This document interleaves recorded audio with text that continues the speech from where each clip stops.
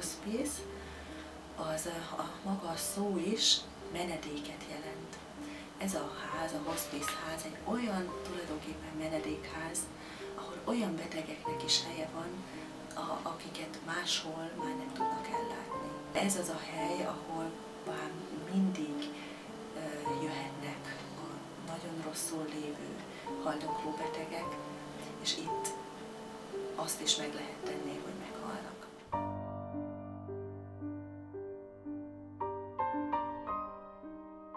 Természetesen szorosabb kapcsolatokat nem is szabad, hiszen egy, egyre jobban megérinti az embert, de hát minden beteg eltávozásában nem halhatunk bele, vagy egy picit sem lehet igazából belehalni.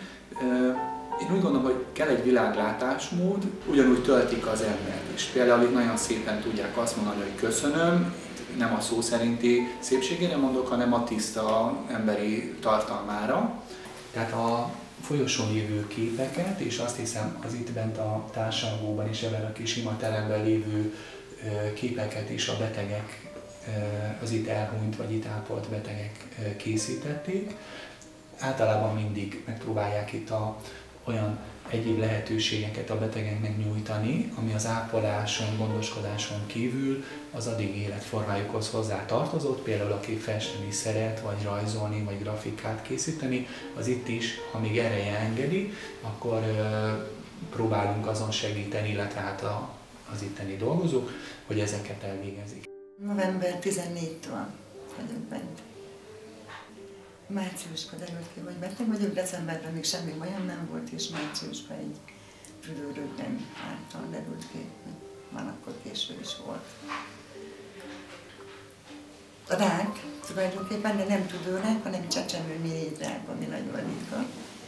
És olyan mértékű, hogy már mondjuk féltüdőm nincs, a másik féltüdőmet azt ugye felhúzta, a elég magasra, az is elég kevés, a legnagyobb gond az, hogy beszúrta a szívet, tehát befészkelt és tavanat lett a szív artériákon, amit sajnos kemóval sem tudnak elmozdítani. Hát a fájdalom az, ami a legjobban megviseli az embert. Valahol elfogadtam, de valahol még küzdök ellene, hogy, hogy most kéne még vagy két év, vagy még csak egy kicsi. Kimaradtak dolgok az életemből, amit úgy voltam vele, hogy most megyek majd nyugdíjba, és akkor pótolok. Akkor rájöttem, hogy hát ez nem fog menni, és ilyenkor az ember elkeseredik, megkapaszkodik, de hát nem mondom azt, hogy meg lehet barátkozni a halállal, de valahol, valahol muszáj megbarátkozni a szóval. Amikor az ember úgy nap mint nap belát a szobába, mert ugye nem járunk be egymás szobájába, hogyha nem muszáj, és látunk embereket, akinek, akinek megváltás, akkor azt mondjuk, hogy hogy igenis menjen el.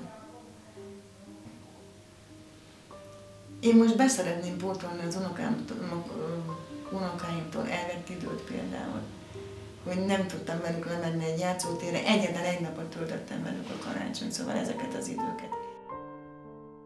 Egy hat éves kisfiú, egy három és fél éves kislány, egy 12 éves kisfiú, meg egy 18 éves fiú.